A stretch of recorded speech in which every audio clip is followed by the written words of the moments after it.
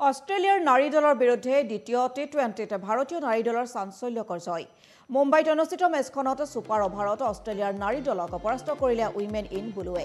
আৰু প্ৰথমে বেটিং কৰি ওৱান উইকেটত সংগ্ৰহ কৰে ওৱান এইট্টি ছেভেন ৰান। আৰু প্ৰত্যুত্তৰত ভাৰতীয় নাৰী দলে পাঁচ উইকেটত সংগ্ৰহ কৰে ওৱান এইট্টি ছেভেন ৰান আৰু ছুপাৰ অভাৰতে এক উইকেটত বিছ ৰান সংগ্ৰহ কৰি মেচখনত জয়লাভ কৰে ভাৰতৰ নাৰী দলে। স্মৃতি মান্ধানাই লাভ কৰে প্লেনাৰ অৱ দ্য মেচৰ সন্মান। পুনৰ জনাইছোঁ অষ্ট্ৰেলিয়াৰ নাৰী দলৰ বিৰুদ্ধে দ্বিতীয় টি টুৱেণ্টিত ভাৰতীয় নাৰী দলৰ চাঞ্চল্যকৰ জয়।